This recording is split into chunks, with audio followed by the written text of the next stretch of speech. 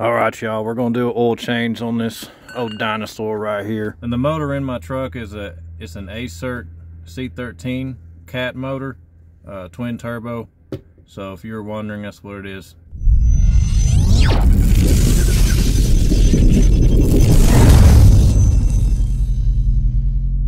I had a video up originally, like six months ago, but the valve that I had down there on my drain plug that thing fell apart. So uh, I had to take the video down because I didn't want to have that in my video. So here's the new video, guys. This will tell you all the tools you need and the process of draining and refilling the oil on this bad boy right here. I'll also show what to do to avoid this happening. Alright, so the very first thing I do is drag these ramps out. I just made them myself out of 2x4s. It's pretty easy to do and then once I got them out just drive up on it. My driveway sits at a downhill slope so once the truck is up on it it's pretty flat and the oil drains out fine. It's hard to get around under the truck without it elevated. Well let's go over first all the things you're going to need. First of all definitely some cardboard. Probably going to spill some oil. I always do. That's just uh, what I do. You know I spill oil. Get you some kitty litter. Need a lot of kitty litter. Let's see. My drain plug I'll tell you what size it is real quick. Inch and a half.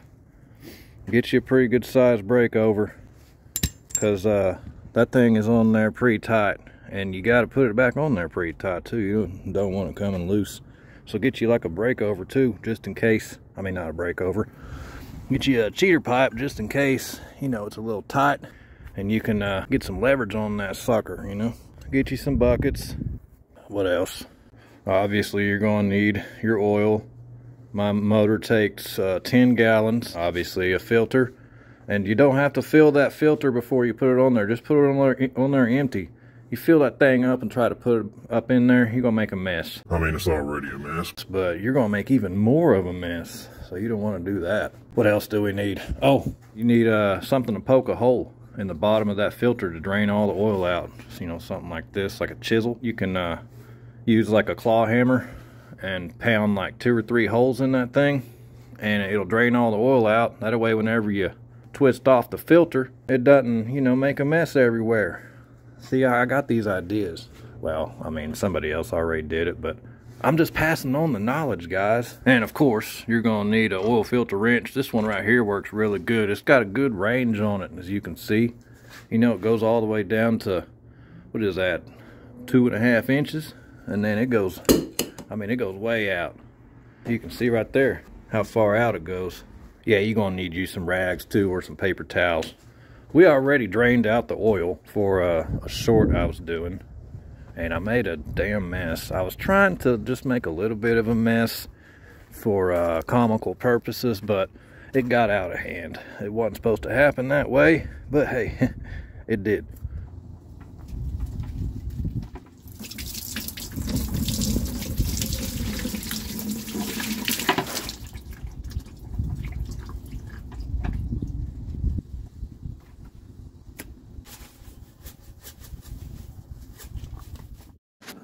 Well, now that you guys have seen the disaster unfold, you'll see what I did to make sure it doesn't ever happen again. Hopefully. So I, uh, I had a stroke of genius. I went out to my storage shed and I found an ice chest that I never use. So I gave it a catchy name, threw it underneath the truck, and it was easily able to hold all uh, nine gallons, well, probably eight since one of them was out on the ground. It's just so nice to have something that can hold all the oil. Used to, I would have to drain a little bit into one bucket, put the plug back up in there, bring over the other bucket, take the plug out, let it drain, and then do that one more time, and it was just a pain in the ass. So once I was finished with it, just drug it out and then uh, carried it over to the maze runner and got my cart out and just drain it out from up high into the buckets. Or you could just take the whole ice chest up to O'Reilly's, uh, either way. And naturally I got oil in my cart, so I had to drain that out. So now let's let's go ahead and tighten that drain plug because like I said, all the oil's already drained out of that motor. And if you're wondering how tight I get mine, a basically as tight as I can get with this breakover. Do your bench press.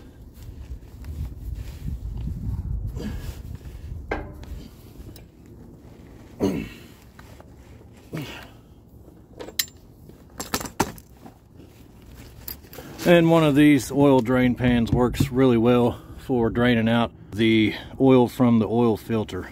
Just stick it, at least on mine, goes right underneath the axle. There's the filter.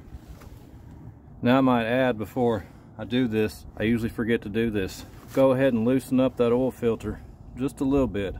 Not to where it's leaking oil. Just loosen it up a little.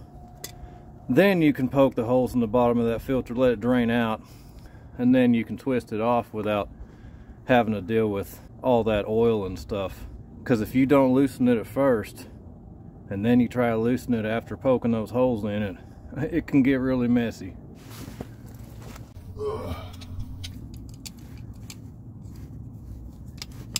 Come on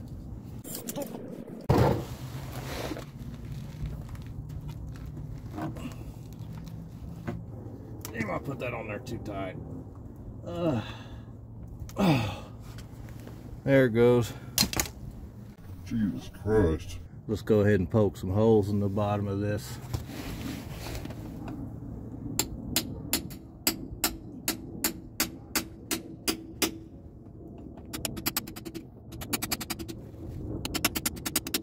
Three holes, that'll drain out pretty quick. And while that's draining, let's go ahead and get out this oil filter here.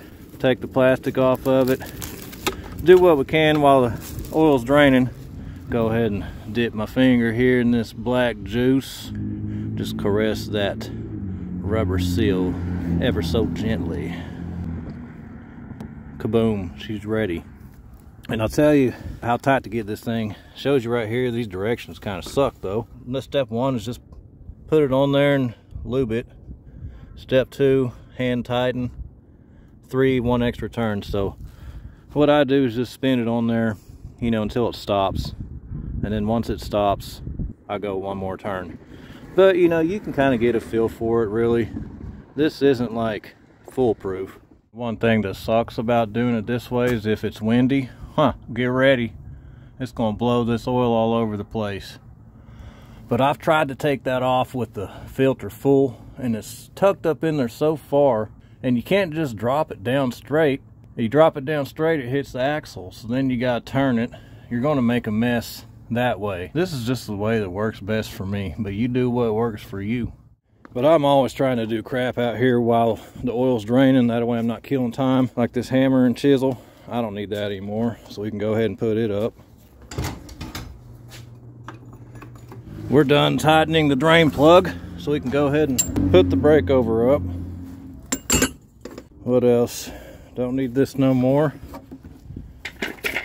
And hell, we might as well get started on getting that oil moved out here.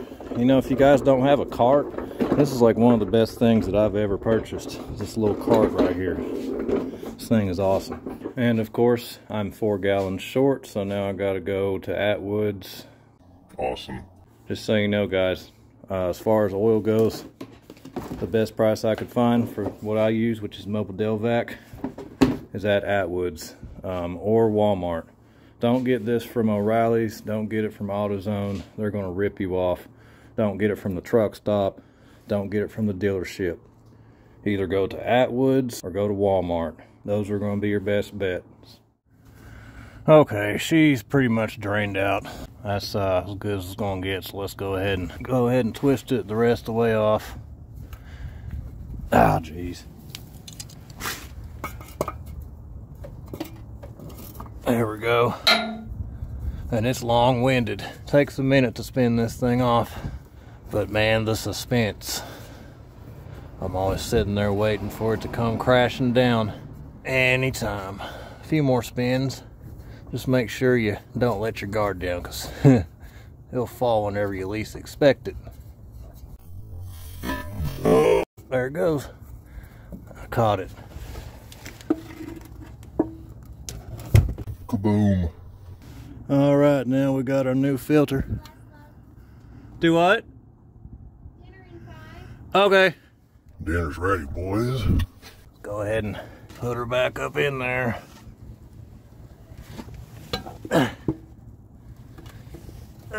Golly, it's a long ways up there. Oh man, I got lucky.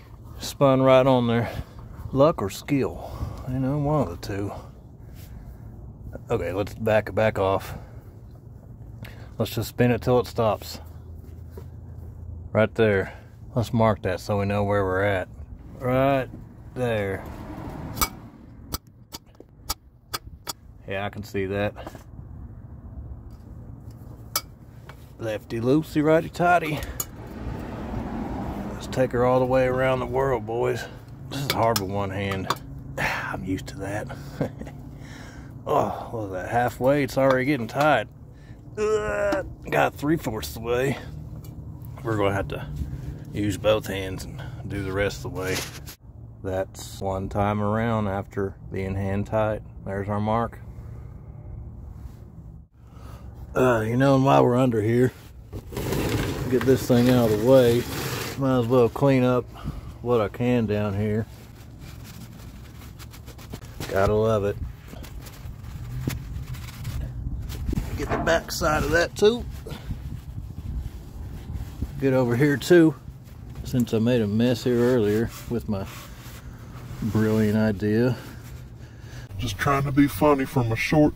Look what happened. Got me in trouble. That'll work. All right, so we just came back from Atwoods. Let's go ahead and wheel this bad boy on out here and start changing, start putting in the new oil.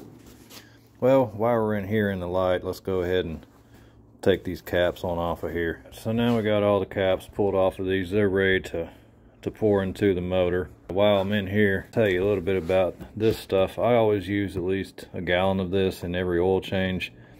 I think it says it's good for, it says uh, use 20% of system capacity. So used two gallons for eight gallons of motor oil. I don't know, I think that's a little thick. I just, I stick one gallon in there for 10 gallons. So I like to do 10%. But if you want to do 20%, that is up to you. But anyway, I always throw a gallon of it in there. And it's really thick. So I'll show you a trick to how I, I uh, pour this stuff, make it a little faster. And if you're out here and you're in the darkness, good place to hang your light right up there on the fender. You can see everything. So on my truck, right here, that's where fill up the oil. Back here's the dipstick. The ends of them are really narrow, so it makes it where the oil flows really slowly. So just cut about three or four inches off the end of that, and you'll get a little bit better flow. Go ahead and start pouring our first one in there.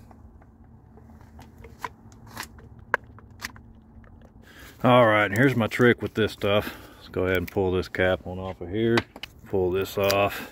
Whenever you start pouring this, you want to keep an eye down here at the bottom to make sure it's not coming up because sometimes it can flow too fast and this, whatever you call this thing, where the oil goes into the engine, it can't keep up with the flow and it starts coming back up.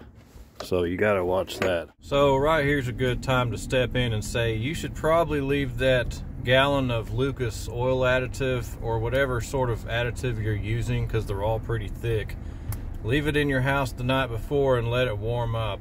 Rather than doing like I did and use a jug that had been sitting out in the cold garage for weeks. Just think of hot syrup, how much easier it flows than syrup when it's cold. So try to do that and it won't come back up like you keep seeing it do in this video. You can see how thick it is right there. But this is all you gotta do. Course I dropped it. Stab a hole in the top of this. Give it a little bit of air.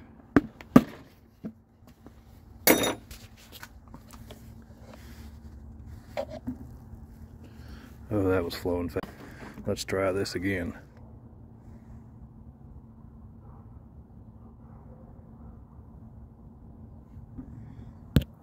See, that's what I'm talking about.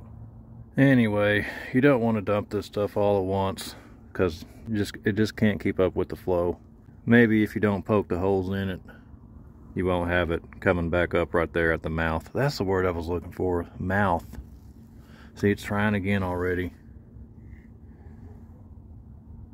We're gonna dump some oil down in that just to wash down that crap. Of course I spilled it. Christ, I'm making a mess out here. Okay, I think we finally got all this. This stuff is so sticky and it's so thick. Once you're done with it, look at that. It just, it just goes forever.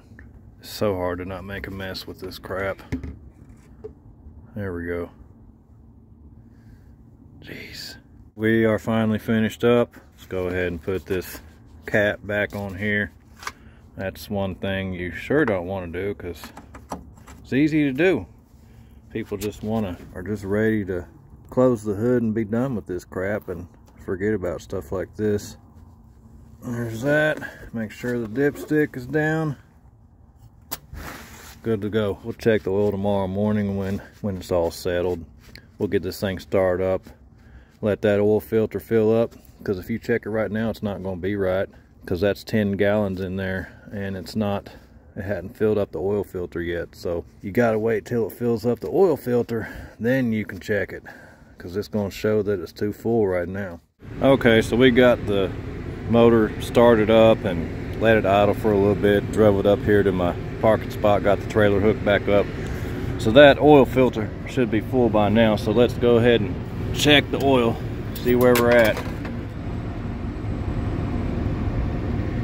damn it looks like it actually needs a little bit surprised well the dipstick doesn't lie and we're on flat ground so i don't know i guess maybe that much oil leaked out whenever I had that oil coming back up out of the uh, funnel.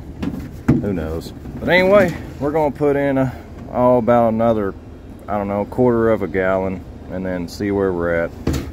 And some of this could be accounted for with the fact that the truck leans a little bit to the passenger side and we're checking on the driver's side. So we're not gonna fill it all the way to the top. Hard to find flat ground around here. See, I'm holding the phone pretty level. You can see it leans a little bit. But this is just shows you why it's important to check your oil after you do an oil change. You never know where it's sitting at. That ought to be enough. And this tank right here, full of antifreeze, kind of shows you how much it, it leans too. See that right there? That's level. Now let's go ahead and check it. I bet you we're going to be exactly where we want to be on this. I added maybe a third of a gallon, something like that. That's perfect. And just so you guys know, this mark right here that says full, and this mark right here that says add, that gap in between those two, that's a gallon. So if you're sitting right there on add, just add a gallon, and it'll put you right there to full. Well, I have no more footage from the oil change, so here's some footage from a delivery I recently ran about 10 miles north of Miami, Texas. It's a really beautiful country. A uh, pretty common question about oil changes is how often to do an oil change. There's multiple factors that play into oil change intervals, including um, type of driving, conditions, idle time, and what type of oil you're using. Maintenance manuals can have uh, six or seven different schedules when it comes to oil change intervals. You'll just have to figure out the best time to change your oil because everybody's situation is different. I will tell you how often I change mine, and maybe your conditions are similar to mine. I typically don't go farther than 500 miles from home. I'm home almost every day.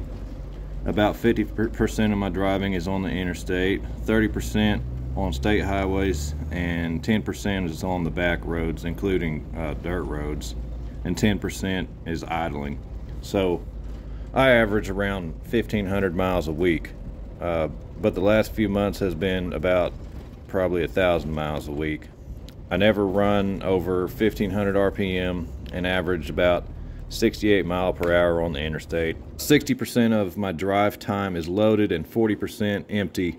I average 5.5 miles per gallon and I just use regular old 15W40 oil not partial or full synthetic.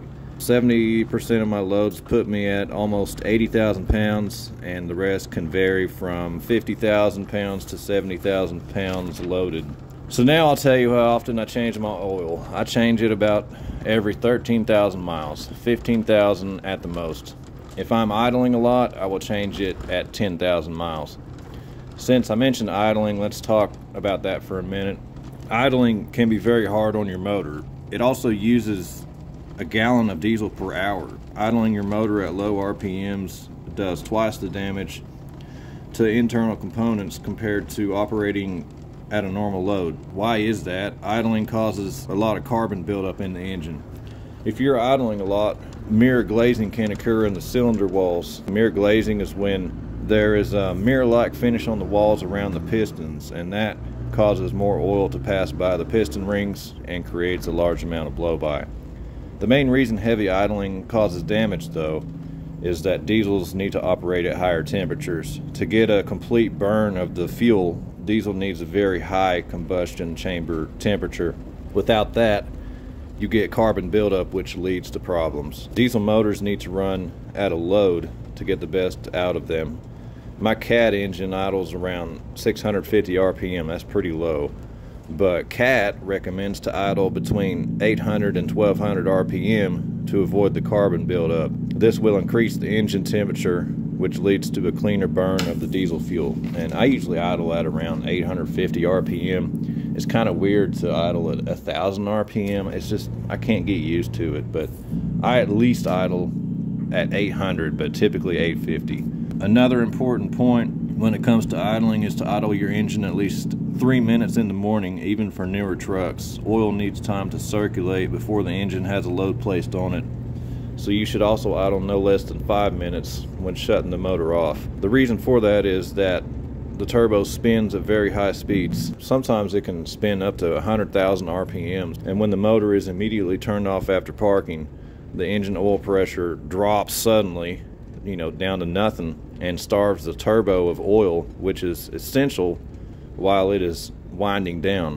which that does significant damage over time to the turbo and shortens its, its life drastically. Well, that's enough about idling. Hopefully this video helps you out. Try to find something like an ice chest that will hold all the oil.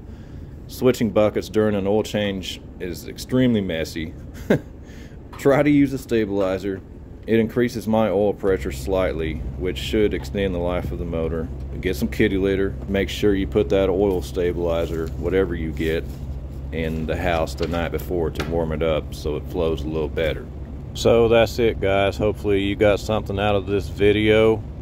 I try to put as much information as I can think of in the video. Don't forget to subscribe, like, comment, share do all the things, even if you choose not to, just your view of the video is appreciated and helps my channel. So thank you for that. Congratulations if you made it to the end. I know this is a, it's a long video, but I like to put, like I said, as much info in it as I can without trying to rush through it it's hard to do videos that are three or four minutes long when it comes to things like these because it's just so much you got to pack into it. But it's understandable if you didn't make it this far. Anyway, guys, we'll see you on the next one. Don't forget to subscribe to my channel. And if you subscribe to my channel, hey, you'll find an ice chest somewhere. You'll find one. You're welcome.